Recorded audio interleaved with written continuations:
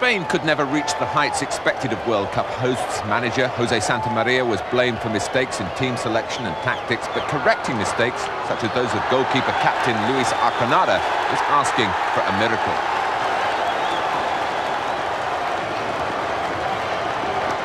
Santamaria had been a World Cup hero with Uruguay in the 1950s. Not even he could turn the superstars of Real Madrid, Barcelona and Real Sociedad from bitter domestic rivals into the best of teammates. Paul Breitner, who knew this particular stage so well from his days with Real Madrid combined with Littbarski, set up a second German goal for Klaus Fischer.